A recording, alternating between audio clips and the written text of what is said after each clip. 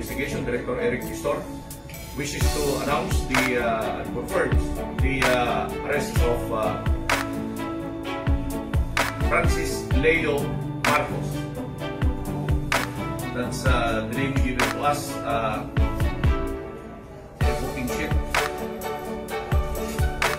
by the Computer Crimes Division under Chief Vic Lorenzo uh, today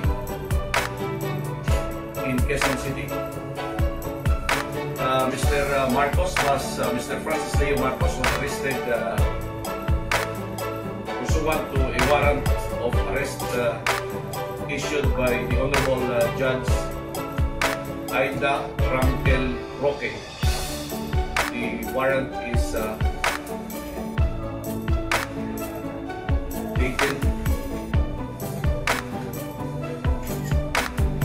February 2018. This is uh, in violation of Republic Act 8050 or uh, the optometry law. We have other holdings and uh, we are verifying uh, the uh, holdings of uh, the NBI as against his involvement in other activities. There is there is also a warrant being verified.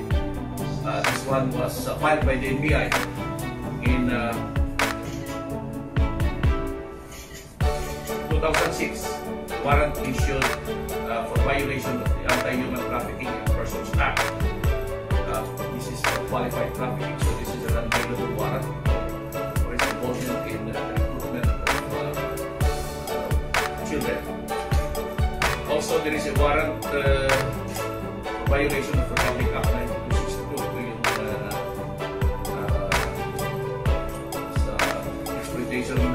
abuse, and uh, and children.